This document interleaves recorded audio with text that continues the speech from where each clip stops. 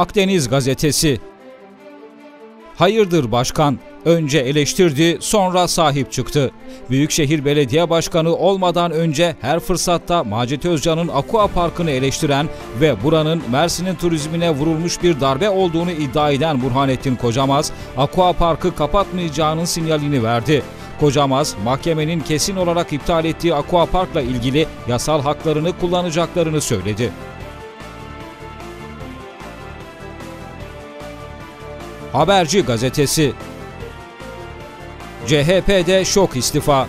Mersin Turizm İşletmecileri Derneği Başkanı iş adamı Hamit İzol CHP'den istifa etti.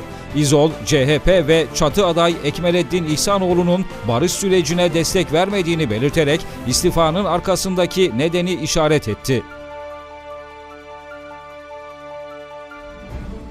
Güney Gazetesi Hiroşima ve Nagasaki unutulmadı. Mersin'de NKP üyeleri Hiroşima ve Nagasaki'ye atom bombası atılmasının 69. yılında saldırılarda hayatını yitirenleri nükleer karşıtı gösterilerle andı.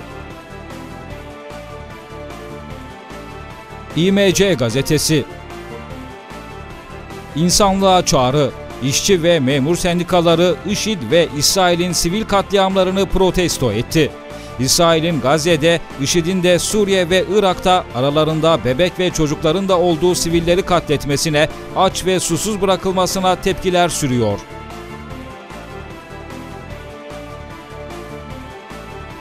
Yeni Güney Gazetesi İzol istifa etti. Şanlıurfalı İzol aşiretinin tanınmış isimlerinden iş adamı, yazar, Mersin İdman Yurdu Onursal Başkanı ve CHP milletvekili aday adayı Hamit İzol, mensubu olduğu partinin ve onun Cumhurbaşkanı adayı Ekmelettin İhsanoğlu'nun barış sürecine destek vermediğini öne sürerek CHP'den istifa etti. Mersin Gazetesi Eşinin böbreğiyle hayata tutundu.